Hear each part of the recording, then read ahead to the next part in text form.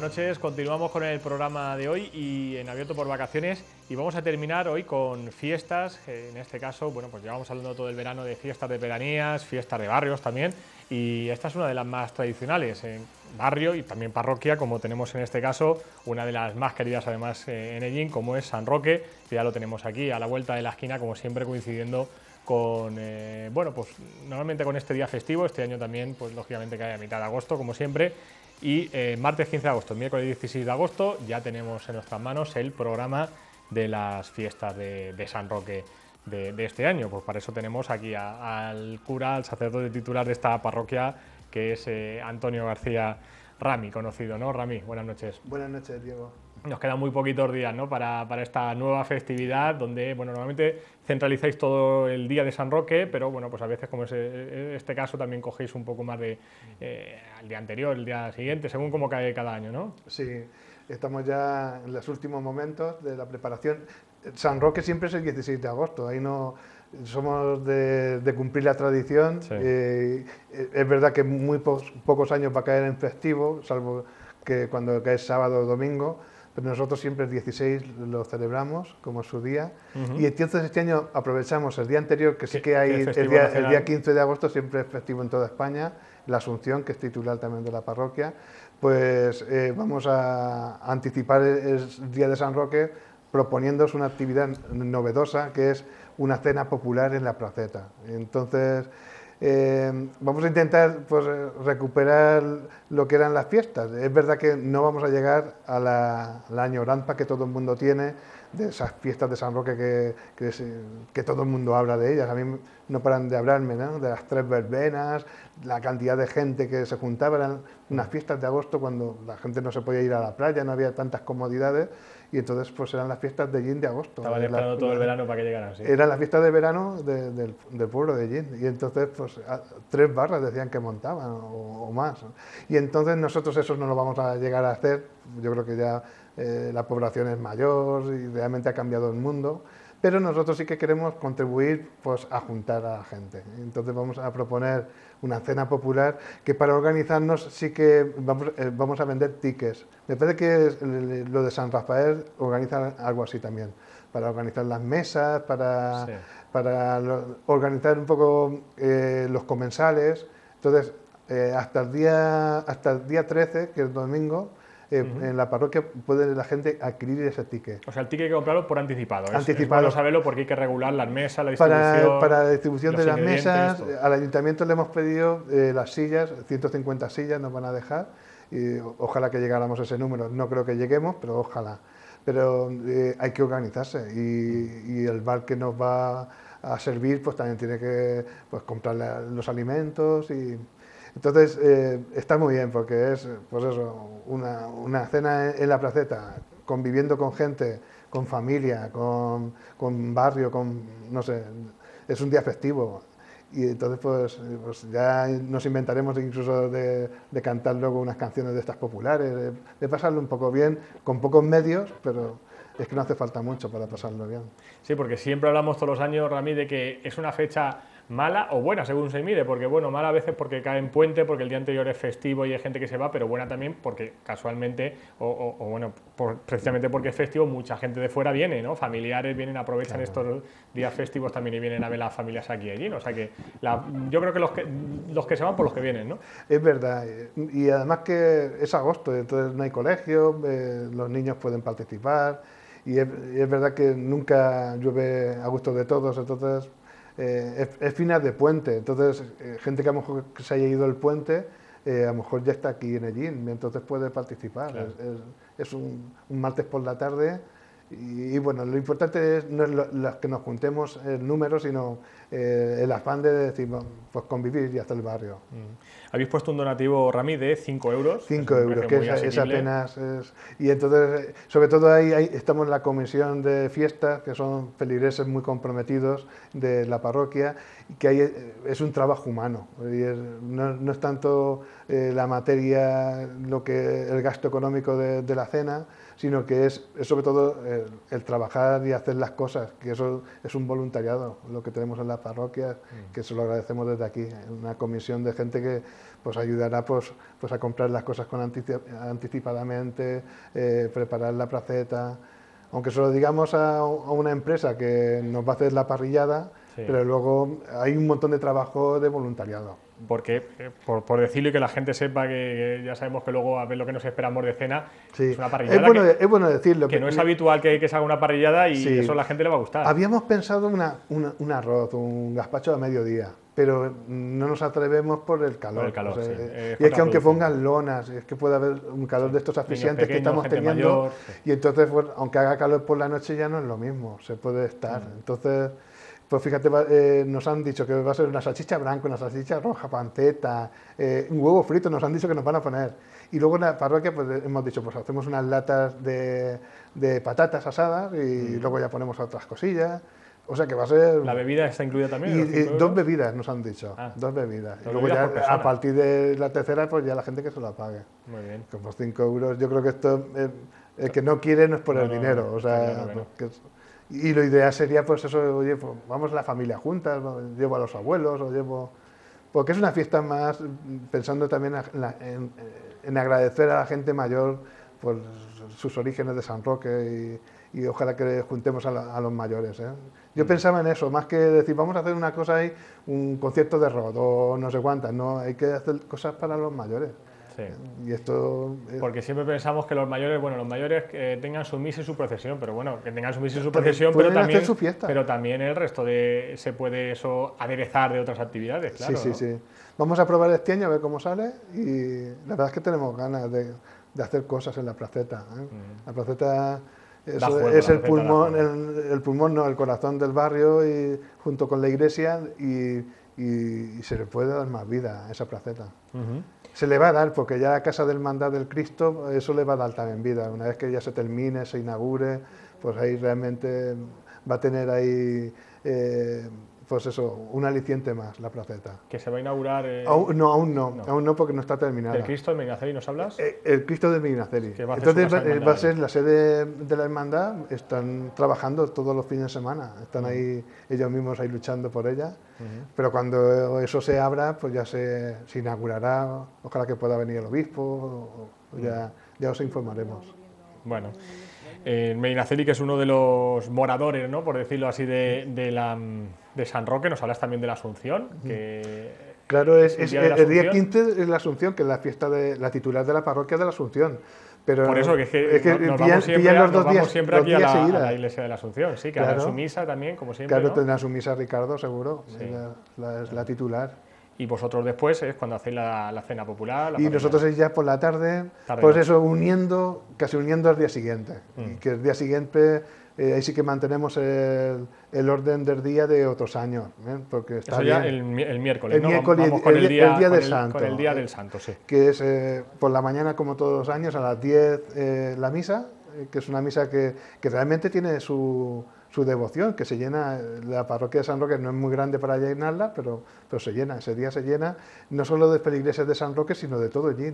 La gente le tiene devoción a este santo que es tan importante en la historia de la iglesia, ¿no? por el tema de las epidemias, de la peste, de la protección, y además que pues, se le tiene mucha devoción a San Roque. Mm. Y entonces a las 10 la misa, eh, y después eh, la tradicional chocolatada, que este año también tenemos la novedad de que queremos, en lugar de la torta, dar, eh, invitar a churros. Entonces vamos a probar a ver también cómo sale. el chocolate con churros. Eso eh, después de la misa. después de la misa. ¿eh? A las 10 de la misa, cuando acabe la misa, también hacemos ahí un poco de familia y de barrio en la placeta. Y luego ya por la tarde pues es la tradicional procesión por el itinerario de todos los años que volvea pues el casco antiguo y con la, eh, con la banda de cornetas de Juventud Musical. ahí mantenemos siempre la tradición, es a las ocho y media y, termina la procesión ya, ya tarde de noche, entra el santo a su casa con, con esa traca final que, que, también todos los años hacemos. Mm, traca con ruido, ¿no? Para, para decir a todo el pueblo de fin de fiesta. ¿Te, ¿Te cuentas también por la mañana? Eh, eh, cohetes tiran, eh, compraremos unos cuantos para ir tirando los, dos días tiraremos. las campanas, los sí, doble campanas desde la mañana. Ambientan un poco la fiesta, pero luego la traca es al final, cuando ya entras santo. Ah, para que se sepa que ya se ha, recogido, termina esta, esta festividad que es corta pero intensa, ¿no? Por lo que decimos que se hace el llamamiento para que participe, ahí estamos viendo imágenes de de otros, de otros años para que participe todo el barrio, lógicamente, y todo el pueblo, ¿no? Porque además, mira, vemos ahí, eh, la gente se anima, ¿no? La gente en San Roque lo quieren y, lo tienen, le tienen esa devoción y lo quieren ver en la calle. Esto es del año pasado y, sigue, fíjate, mucha gente. El año pasado, fijaos, ahí está el estandarte nuevo que se inauguró gracias a, pues, a la colaboración de un montón de gente que se movió. Mari Callejas hacia... ¿Salieron los dos el año pasado? Eh, ¿no? ya, salió ya el ah, nuevo. fue salió el nuevo. cuando salieron dos Salió el, nuevo. Y este año pues volverá a salir. Y además que es precioso, lo bordaron las monjas clarisas. Y, realmente pues enseguida pues ya lo, lo tenemos en la parroquia estos días antes, un poco como hacemos como de novena antes de, de, la, de su día y ya lo pondremos en el altar mayor. ¿Costaleros quiénes, quiénes son? Pues eh, mira, costaleros no tenemos a, gente no organizada. No titulares, ¿no? Eh, el otro día, hablando en la comisión, oye, ¿hacemos algún tipo de reunión? Eh, ¿Cómo podemos organizar esto? Pero esto realmente es, muy difícil de organizar, porque no, no podríamos montar una cofradía de, de, San Roque. Es, la parroquia y es el barrio y es la gente que quiere en ese momento. Pero, hay, voluntarios, ¿no? Sí, no hay problema. Estamos siempre con la incertidumbre, vendrán, no vendrán, pero siempre vienen. Los sanroqueños responden y hay gente que, que los ves toda la familia, ¿eh? colaborando. No pesa mucho tampoco, pero pues, pues tiene su peso y tiene, pues también lleva su batería y todas las flores que se le ponen, que se queda muy bonito el santo. Y entonces estás, temblando, tendremos o no tendremos, pero todos los años sale. ¿eh? Todos, ese estandarte, bueno, ahí estamos viendo ya la Juventud Musical, que es un clásico también en la celebración, y ese estandarte que hemos visto al principio, que como dices, bueno, ya son dos años y ya... Este es el segundo año. Eh, este es el segundo. Sí, el año pasado se bendijo, y el año pasado. ¿El año pasado? ¿No fue hace dos cuando salieron los dos juntos? Que no, fue el año pasado. Fue el año pasado entonces. Sí, lo sé porque... es la primera vez que, va, a salir, que va, a salir, va a salir solo. No, el año, el año pasado es que al final no salieron, ah, los, dos. los, dos. Vale. Estábamos ahí con la incertidumbre para que no pues eso, que se iba a retirar al principio, porque, algo así. Porque la familia que tiene el antiguo eh, en ningún momento ha dicho que no, que, no, que no lo dejaba, todo lo contrario, hay muy buena disposición. pero, pero al final también se veía que no, no tenía sentido sacar dos. Y, entonces solo salió el, nuevo. y pues este año pues también volverá a salir el nuevo. Volverá a salir el nuevo, que ya se ha quedado, como dices tú, en, en la parroquia, en la parroquia, sí, sí, En la parroquia. Que lo tenéis guardado. Lo, tenemos guardado en la sacristía. Queremos hacerle un mueble y ponerlo por ahí por, por, los salones parroquiales, pero de momento lo tenemos en la sacristía. Y ahora estos días lo ponemos ahí en el altar mayor, lo ponemos. ¿Por qué tienen eh, tanta importancia, ya no a nivel social, a nivel eh, profesional, los estandartes? Te pregunto a nivel litúrgico, ¿por qué tienen, se le da últimamente tanta importancia a los estandartes, Ramín? Yo creo que son los emblemas, eh, lo que decimos ahora, los logotipos, los símbolos. Mm. Pues entonces es, la entrada que identifica una asociación, un grupo, en este caso una hermandad, una parroquia, una asociación de fieles pues eh, lo que decimos ahora un logotipo, una marca, pues eso es la fuerza que tiene el estandarte. Pero se le da incluso valor religioso porque se bendice, ¿no? Y se, sí, sí, sí, lo, bendijimos. Eh, el valor religioso lo tiene en cuanto a, a, la identidad del grupo de personas. eso crea una identidad, en este caso en la parroquia de San Roque, o imagínate pues una cofradía de Semana Santa. Pues realmente tiene el valor que identifica, pues, en este caso, a nuestra parroquia. Pero... Bueno, estandartes que sí, que es verdad que todas las cofradías, todas las eh, algunas parroquias también, bandas de conetas y tambores, todos se, representan con sus estandartes, ¿no? Eh, bueno, aquí tenemos este, este, cartel que ya bueno, pues estará colocado en las, en las calles de, de, nuestra ciudad, también ahí lógicamente en el barrio, donde se ve, pues ahí, como siempre, ¿no? El santo acompañado además de su, de su, su perro. De su perro, ¿no? El perro con un, con un pan en la, en la boca. Cuéntanos un poco y eh, las dos cosas. Te iba a preguntar por lo que es la imagen, la imagen que tenemos aquí en Ellín, los años que tiene y un poco desde cuándo está, mm.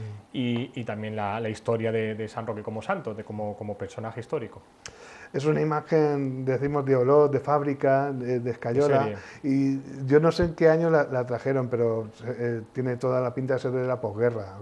Eh, pero sí que representa pues, la iconografía típica de, San Roque, siempre peregrino. El, hábito es franciscano, de, de San Francisco. Eh, y luego lleva la concha del peregrino porque, porque él salió de su casa. Es, como los tipos de, los santos, es un santo francés de Montpellier y, dejó su, era un hombre adinerado, deja su, su hacienda, deja su riqueza, pues siguiendo el modo de vida del Evangelio, dejarlo todo para los pobres y vivir pobremente. Y entonces es su, su afán fue ayudar a los desvalidos, especialmente en, el tiempo de las epidemias, de la gran peste, que, lo decimos ahora y, parece que han pasado ya muchos siglos, desde el siglo XIV, pero tuvo que ser tremendo. La peste del siglo XIV, pues realmente, pues, pues ahora lo que decimos del ébola o, o, la amenaza nuclear, pues ese miedo social, era un miedo que realmente pues, convivía con la gente.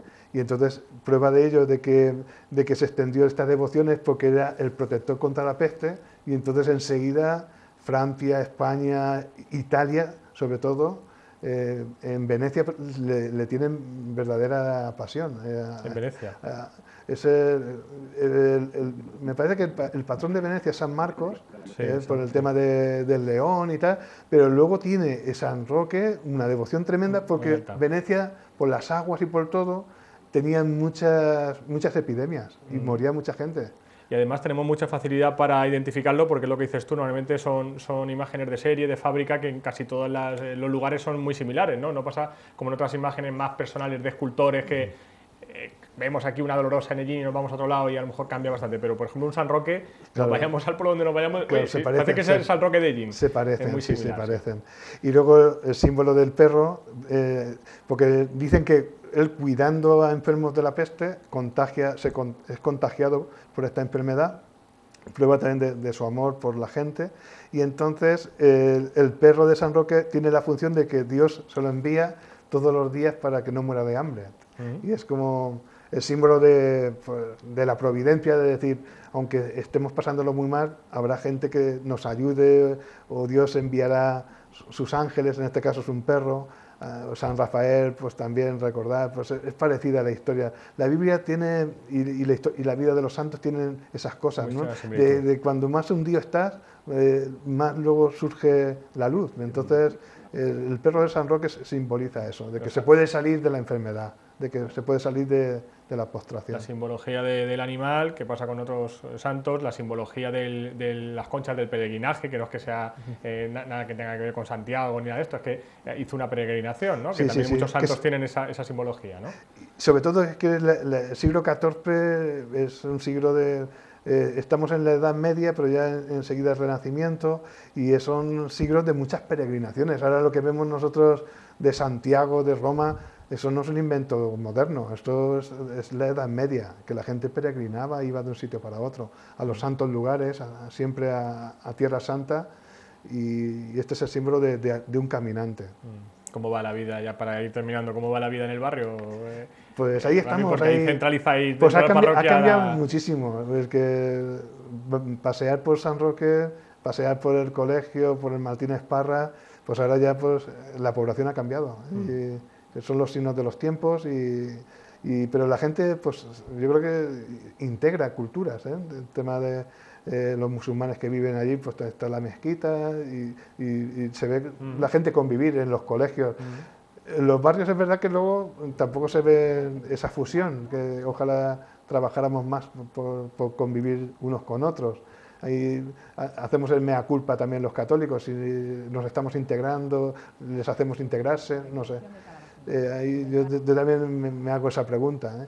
Yo sé que Caritas, pues, muchos, de los programas de Caritas eh, están dedicados a los niños musulmanes de, San Roque, que viven todos por allí.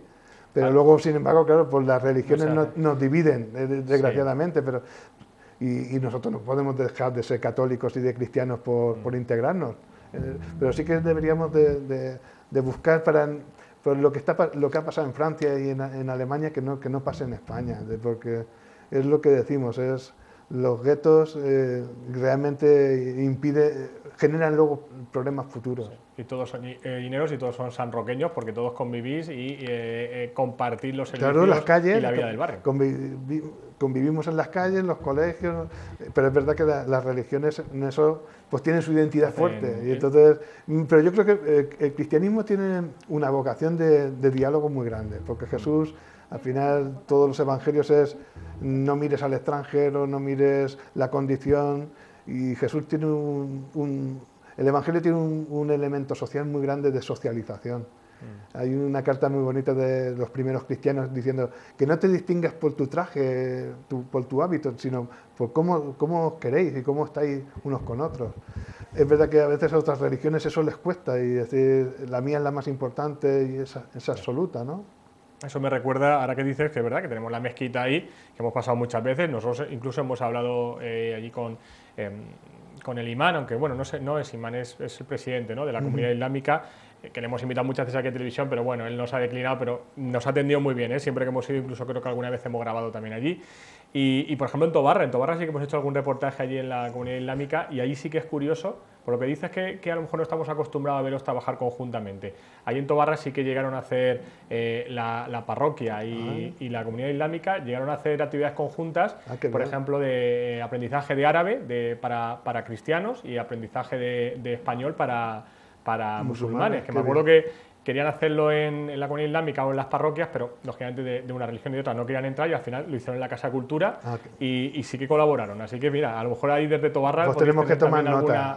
Hay, que, hay que aprender... No sé si siguen haciéndolo, ¿eh? La verdad es que cuando volvamos a Tobarra lo preguntaremos si siguen haciendo esas clases de español y de árabe que, hacían conjuntamente.